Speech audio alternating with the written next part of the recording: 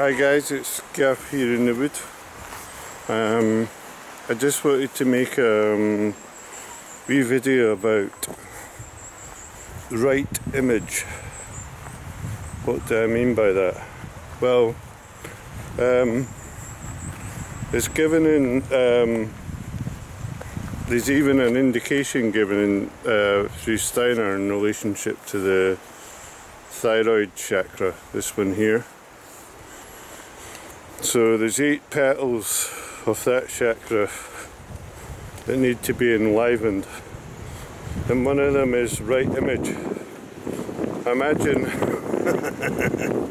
when you reflect on your day how much you use the, uh, the wrong image during your day.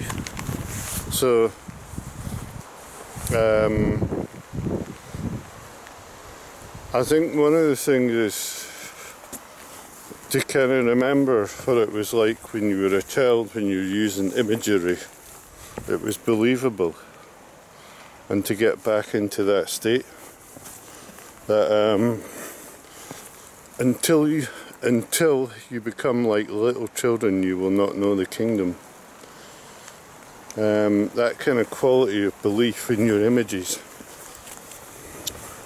And usually constructive life building images.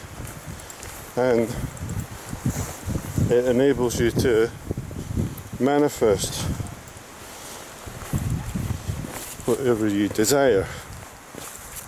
Um, and you can see how it's connected to it's a, a, quite a difficult thing to do in our materialistic age is work with these bright images. First of all, we've destroyed our imagination. And secondly, it's like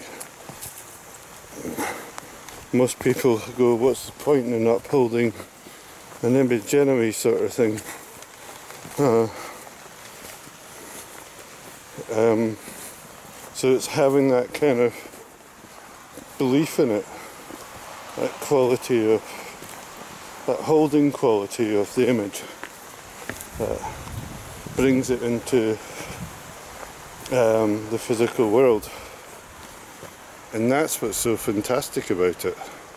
It's so easy to talk about. It's a different thing to practice because it really relies on you bringing the strength to it.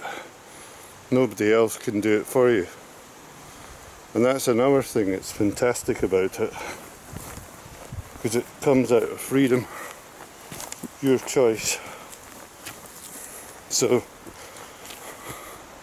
thanks for listening, and remember to like and subscribe, and I'll see you in the next video. Bye for now.